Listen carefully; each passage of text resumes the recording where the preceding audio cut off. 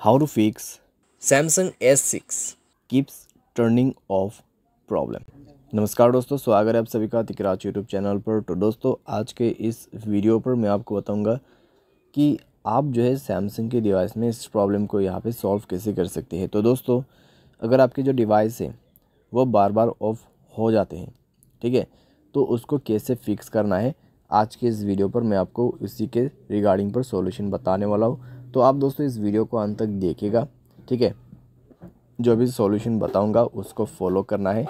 And आपका जो यहाँ पे प्रॉब्लम है, जो बार बार स्विच ऑफ़ हो रहा है, जो या बार बार यहाँ पे ऑफ़ हो रहा है, उसको आप फिक्स कर पाओगे।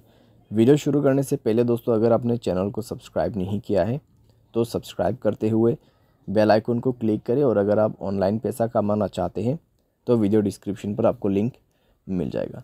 चलिए दोस्तों वीडियो शुरू करते हैं। तो दोस्तों, यहाँ पे जो आपके मोबाइल बार बार स्विच ऑफ़ होते हैं, हो सकते हैं दोस्तों वो किसी सेटिंग के वजह से या फिर कोई ऐप्स के वजह से या फिर डिवाइस में प्रॉब्लम हो गया होगा। ठीक है? तो सबसे पहले आप अपने मोबाइल पे शेड्यूल वगैरह सेट किया हुआ है तो उसको आप देखिए कि शेड्यूल ऑन है या नहीं है। ठीक है? तो आप उसको बंद करें। बैटरी एंड डिवाइस केयर में जाके भी दोस्तों आप चेक कर सकते three dots, automation and restart timing जो है उसको भी आप बंद कर दें और एडेप्टिव पावर सेविंग को भी आप बंद कर दें। यानी कि पावर सेवर आपको दोनों ही बंद कर देना है, ठीक है? तो इससे दोस्तों आपको स्विच ऑफ़ या फिर टर्निंग ऑफ़ का प्रॉब्लम नहीं होगा। दोस्तों, यहाँ पे मान लीजिए आपने कोई एप्लीकेशन इंस्टॉल किया अपने मोबाइल पे। उसको इंस्टॉल करने के बाद दोस्तों, यहाँ पर आपका जो मोबाइल है वो बार बार स्विच ऑफ़ हो रहा है। तो उस एप्लीकेशन को डिलीट करें। या फिर आपके मोबाइल पे कोई थर्ड पार्टी एप्लीकेशन जो कि कोई बेड एप्लीकेशन हो सकते हैं ठीक है, अगर आपने कोई भी अननोन वेबसाइट से इंस्टॉल किया हुआ है तो उन ऐप्स को भी डिलीट करें। ठीक है?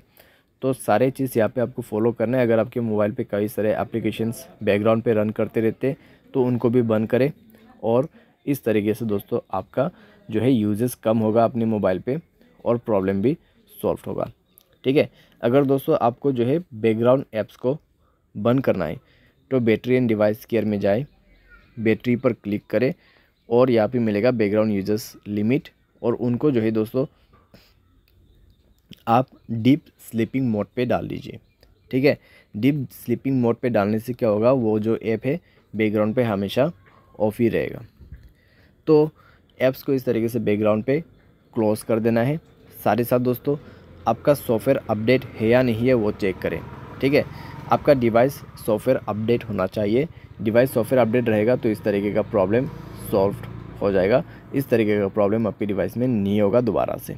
तो ये सारे सॉल्यूशन दोस्तों आप यहाँ पे फॉलो अप कर सकते हैं।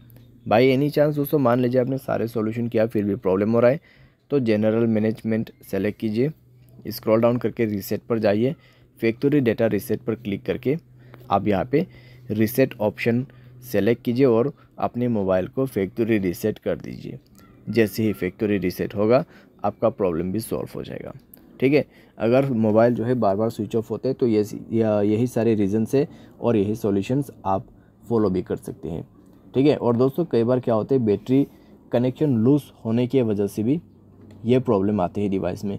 तो अगर बैटरी कनेक्शन वगैरह लूज है तो आपको किसी टेक्नीशियन की मदद ही लेना होगा या फिर कोई सर्विस सेंटर पर जाके आप फिक्स कर सकते हैं। आज के लिए बस इतना ही दोस्तों, उम्मीद करते हैं आपको वीडियो पसंद आएगा Thanks for watching.